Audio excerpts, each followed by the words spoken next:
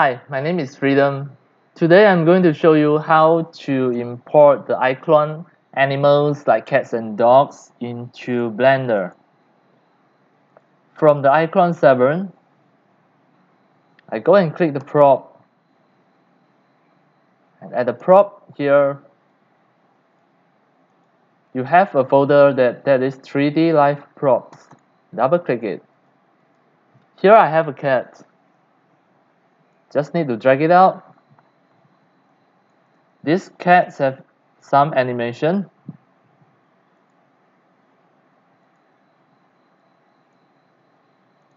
How many animation that, that it have?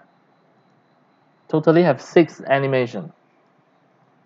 To import this cat into Blender, the first step you just need to double click your prop and make sure it already selected at the scene. This is the cat. Then you click edit in 3DXchange.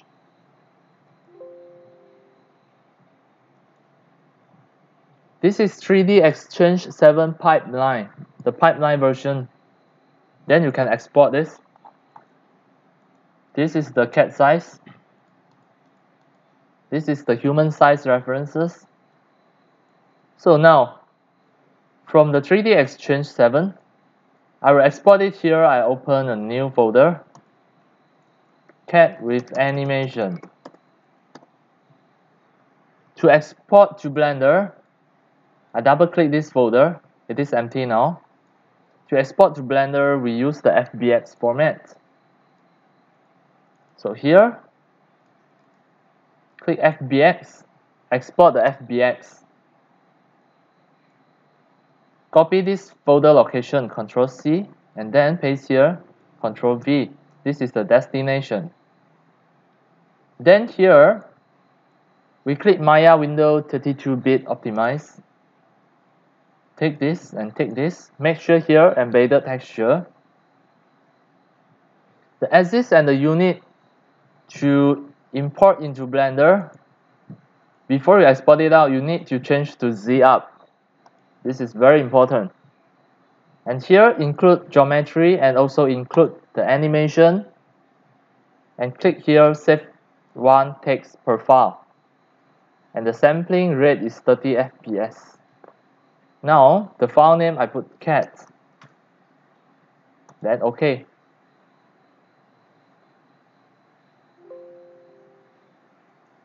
Now here it, it will separate all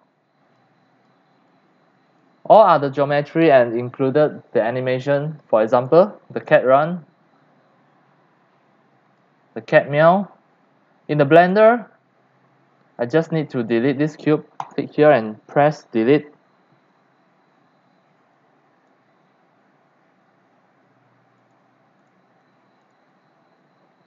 So now in Blender, I import this file import FBX then copy this folder location, Control C, and paste here, Control V, and always remember to press enter. After that, at here, I want to import the cat meow.fbx. Now you can see it is here. I click this to turn on the texture And here you, you already have the animation keyframe. You just need to play it.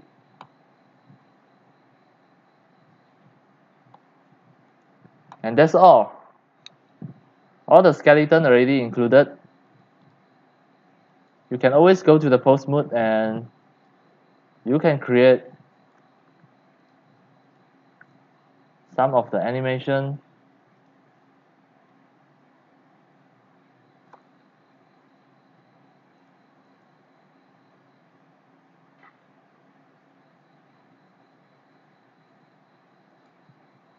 Here, if I record the keyframe, and here, I create a new keyframe, then you can see my new animation as well.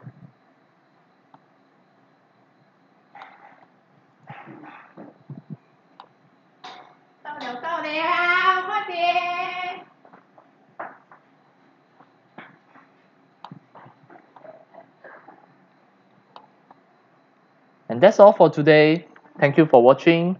If you love my if you love my video tutorial, you can always subscribe to my YouTube channels and turn on the mini bell so that when next time I publish a new video tutorial, you'll receive the notification immediately. See you in my next video.